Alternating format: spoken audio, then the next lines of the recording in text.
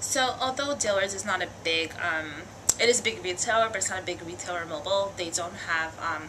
a site right now, and most of what they did with mobile was um, advertising on some apps or sites to start to drive consumers in store or offer them coupons.